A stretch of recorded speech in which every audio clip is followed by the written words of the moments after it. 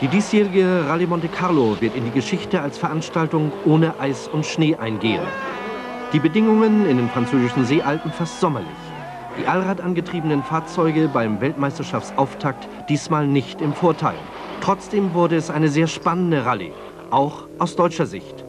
Mehr als eine Million Zuschauer an den fünf Tagen, so groß war das Interesse der Motorsportfans noch nie. Gestartet wurde an fünf verschiedenen Orten. Jochi Kleint und Co-Pilot Walter Schleicher fuhren in Bad Homburg von der Rampe. Der Hamburger 1981 schon einmal Dritter bei der Monte, diesmal im Lancia Delta HF Integrale in einem Gruppe A Auto. Der Bewerber die Firma AM aus Norderstedt. Der Chef Walter Schleicher selbst auf dem Beifahrersitz. Die Gesamtlänge der Rallye Monte Carlo 3280,26 Kilometer. 26 Wertungsprüfungen gleich 538,68 Kilometer mussten zurückgelegt werden. Auf dem Col de Turini nördlich von Monte Carlo wurden gleich drei Sonderprüfungen gefahren. Die Transportetappen ungewöhnlich lang. Entferntester Punkt jenseits der Rhone in Aubenas bei Montélimar. Die französischen Seealpen, ein Bild wie im Hochsommer.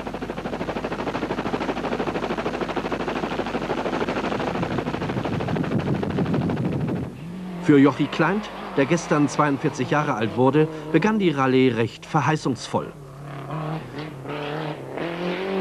Trotz einiger Anfangsschwierigkeiten wie hier kam er mit dem ungewohnten Fahrzeug gut zurecht. Dieser Dreher kostet natürlich Zeit. Immerhin belegte er nach zwei Wertungsprüfungen einen Platz unter den ersten zehn Fahrern.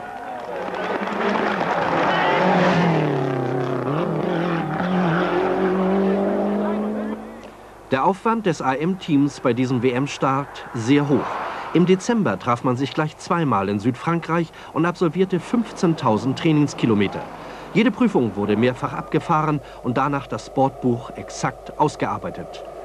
Allein sechs Servicefahrzeuge standen Jochi Kleint und Walter Schleicher zur Verfügung. Ein Schwerpunkt, wie in jedem Jahr, die richtige Auswahl der Reifen. Das Fahrzeug wurde vom renommierten italienischen Astra-Team aufgebaut und von AM für die Rallye Monte Carlo ausgeliehen. Offiziell ca. 275 PS unter der Haube, Spitzengeschwindigkeit über 200 km in der Stunde, Allradantrieb. Jochi Kleint nach der WP2 mit dem Service nicht ganz zufrieden. And next time, before the stage, yeah. you have to put the service car right before the stage because the tires was very cold. So it was ich hatte keine Chance, die Reifen warm zu fahren. Ihr steht zu dicht vor der Zeitkontrolle. Nächstes Mal bitte mehr Abstand halten. Bergunter ist es auch kalt. Hallo Jochi, wie ist bisher gelaufen? Ja, danke gut. Ja? ja? Keine Schwierigkeiten? Natürlich muss man sich erstmal nach den ersten beiden äh, ein bisschen eingewöhnen aufs Auto oder an die Reifen, das ist natürlich klar, dass man da ein bisschen vorsichtiger angeht. Verständlich aus Weise, aus guten Gründen, ja. Kein Schnee und Eis, nix? Moment nicht, nein. Sehr trocken, man kann das vergleichen mit der Corsica-Rallye ungefähr. Co-Pilot Walter Schleicher erhält die letzten Tipps vom Eisspion für die WP3. In markierten Schattenecken vereist. Oh Gott. Zuschauerpunkte kehren leicht vereist, teilweise stark vereister Rand. Jetzt gucken wir hier gerade noch mal kurz die, die Einzelposition, weil du den Schrieb ja mitnimmst. Ja, ja, Walter Schleicher, Jahrgang 1940, engagierte Jochi Klein vergangenes Jahr für AM. Beide fuhren mehrere Rallyes miteinander. Ihr größter Erfolg? Platz 3 bei der Drei-Städter-Rallye, einem Lauf zur internationalen deutschen Meisterschaft. Auf geht's in die Wertungsprüfung 3.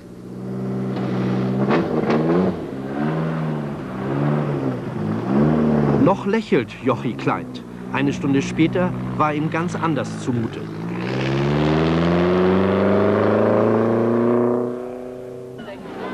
Noch einmal der Hamburger Ex-Europameister in voller Aktion. Die Zuschauer auch diesmal nicht immer diszipliniert. Die Leute stehen einfach zu dicht an der Strecke.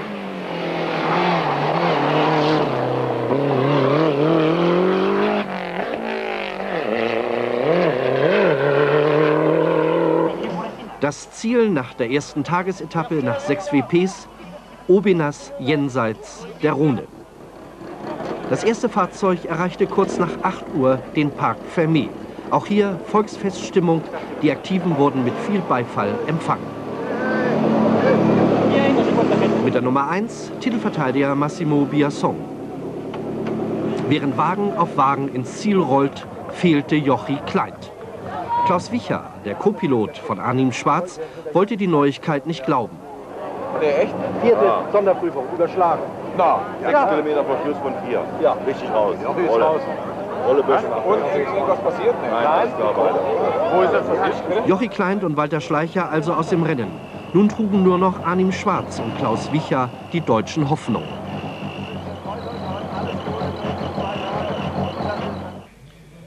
Der nächste Morgen in Obenas. Der Parc Fermé leider ohne den Lancia Delta von Jochi Kleint und Walter Schleicher. Jochi Kleint, Sie haben ja leider das Ziel, das erste Etappenziel in Obenas nicht erreicht. Auf der vierten Wertungsprüfung ausgefallen. Wie ist das geschehen? Ja, wir waren also am Ende der Prüfung und äh, ungefähr drei, vier Kilometer vor Schluss. Und ein sehr schnelles Bergabstück und äh, mit leichten Bodenwellen. Das Auto wurde sehr nervös und ich habe dann die Strecke verlassen müssen. Und zwar bin ich noch äh, an einen Wall gefahren und dadurch rückwärts in einen Graben und zwei oder dreimal haben wir uns überschlagen. So sah der Wagen nach dem Unfall aus. Gott sei Dank kamen Jochi Kleint und Beifahrer Walter Schleicher mit dem Schrecken davon. Der Käfig im Innern des Autos bewahrte beide vor Verletzungen.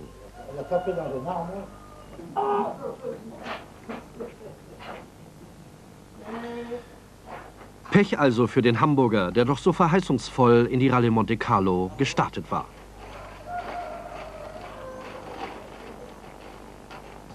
Wir waren also immer unter den ersten zehn im Gesamtklassement und die Sonderprüfungszeiten waren hervorragend, das Auto lief auch gut und wir haben halt hier Pech gehabt. Wir wissen die Ursache noch nicht, warum wir rausgeflogen sind. Wir werden das erforschen am Auto und äh, dann wissen wir mehr. Erfolgreicher fuhr das Team Arnim Schwarz aus Franken und Beifahrer Klaus Wicher aus Bad Karlshafen an der Weser. Für den 26-jährigen Schwarz war es die erste Monte überhaupt und ein gelungenes Debüt im Toyota-Werksteam. Platz 5 am Ende, ein hervorragendes Ergebnis.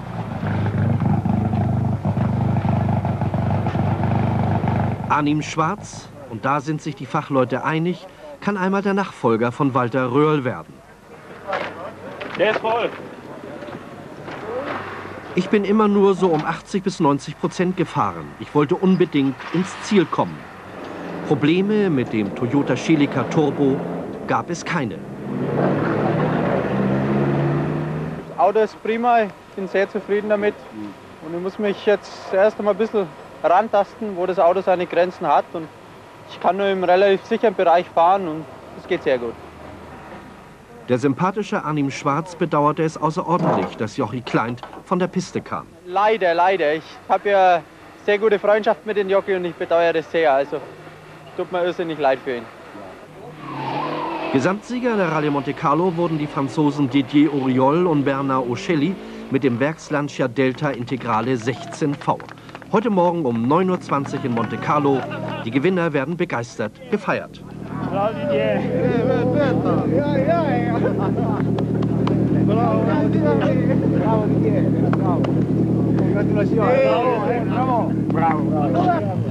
Auf Rang 2, 52 Sekunden zurück, die Spanier Carlos Sainz und Luis Moya mit einem Werks Toyota Celica.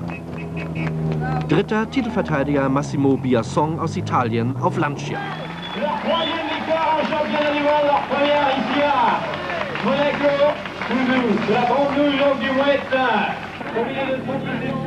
Der schönste Lohn für Didier Auriol trotz Sekt und Begeisterung, dieser Augenblick.